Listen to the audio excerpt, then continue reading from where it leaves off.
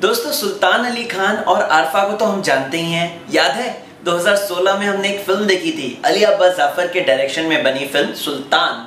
सुल्तान का हो सकता है, दोस्तों, आने वाले सालों में सीक्वल आने वाला है। जी हाँ दोस्तों, ये खबर मीडिया में आजकल आ रही है कि सुल्तान के जो मूवी डायरेक्टर हैं, अली अब्बास जाफ़र, उन्होंने बोला है कि हाँ यार, सुल्तान का जो एक सीक्वल है, वो तो फ़िल्म डिजर्व करती ही करती है, क्योंकि जो स्टोरी जहाँ पर छूटी थी, वहाँ पर हम देखते हैं कि किस तरीके से सुल्तान और आरफा की बेटी भी बहुत ज़्यादा आरफा की तरह है, चुलबुली है, नोटी है, उसे रेसलिंग खेलना बहुत पसंद है। तो भाई मैं तो उम्मीद करता हूँ कि सुल्तान के पे जल्दी से जल्दी काम शुरू हो जाए। और सुल्तान का टाइटल क्या होगा? सुल्तान रिटर्न सुल्तान बैक आपको क्या लगता है? क्या आप फ़िल्म के लिए एक्साइटेड हैं? नीचे कमेंट सेक्शन में मुझे बताएँ कि सुल्तान अगर आती है 2019 तक तो आप कितने ज़्यादा एक्साइटेड हैं और इस फ़िल्म का टाइटल क्या हो सकता है? सुल्तान रिटर्न्स फिर सुल्तान, फिर से सुल्तान, या क्या हो सकता है?